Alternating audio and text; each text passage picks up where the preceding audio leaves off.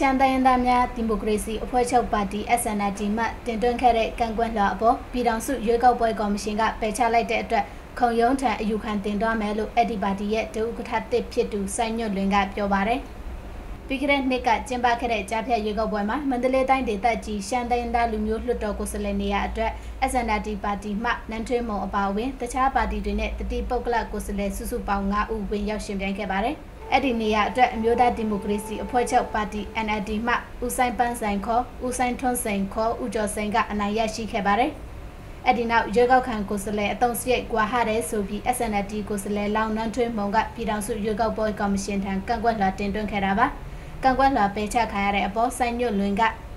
ဒီ2020မှာမြမြတတဖြစ်ဖို့အဓိက2020မှာရှင်းရှင်းလင်းလင်းနဲ့တရားမြမြတတဖြစ်ဖို့ပါ နော် UEC ကကြီးညာထားတဲ့ညီမှန်းချက်တွေအတိုင်းပြည့်ပြည့်ဝဝဖြစ်အောင်ကျွန်တော်တို့ဖြစ်စေချင်ပါတယ်ဒါတော့အခုကျွန်တော်တို့ကဒီဟာကိုအခုကျွန်တော်တို့ရွေးကောက်ပွဲအဲ့ခုနကန်ယူခံတဲ့ပတ်သက်လို့ပြန်ပြီးတော့ယူခံမှုစဉ်းစားတဲ့အချက်မှာဒါ UEC ဘက်ကလည်းဒါကိုပြန်ပြီးတော့ခုံစုံကြီးခုံညုံရုံးအနေနဲ့ပေါ့နော်ဒါသူတို့ပြန်ပြီးတော့စဉ်းစားလိမ့်မယ်လို့ကျွန်တော်ထင်ပါတယ်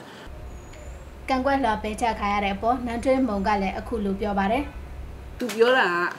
ဟိုသူစီရင်တင်ထား30ဆိုပေမဲ့သူကစီယုံရေးစင်နာ၄ယောက်ပဲတဲ့သူထုချေတာပေါ့နော်သူတို့စီယုံရေးလာစင်နာ၄ယောက်ပဲကျန်တဲ့လူတွေကဝိုင်းရံတဲ့လူတဲ့အဲ့ဝိုင်းရံတဲ့လူတွေကိုတဲ့ဟို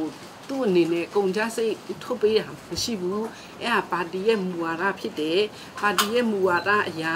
ဒီလူတွေအတွက်စားစိတ်တွေသွားစိတ်တွေကုန်ကြစရာမလိုဘူးဆိုပြီးတော့အဲ့လိုပြောတယ်အဲ့လိုပြောအဲ့လိုထုချေတယ်အဲ့ဟာကို UEC ကဒီဟာကိုခုံအဖွဲကအဲ့ဟာကိုလက်ခံတယ်အဲ့လက်ခံတဲ့ခါကျတော့နောက်ခါကျရင်ကျမတို့ပြောချင်တာကျမတို့သူဥက္ကဋ္ဌပြောချင်တာလာမယ့်2020ကျရင်အဲ့ဒီလိုလုံကြီးဆိုလို့ရှိရင် NLD မှာလည်းသူ့မူဝါဒနဲ့သူလာမယ်။ကျန်းခိုင်ရေးကလည်းကျန်းခိုင်ရေးသူ့မူဝါဒနဲ့သူလာမယ်။ဟိုပြည်သူ့ပါတီကလည်းသူ့မူဝါဒနဲ့သူလာမယ်။အကုန်လုံးကသူ့မူဝါဒနဲ့သူလာမယ်ဆိုလို့ရှိရင်ရွေးကောက်ပွဲဥပဒေကိုဟိုနဲ့မညီတော့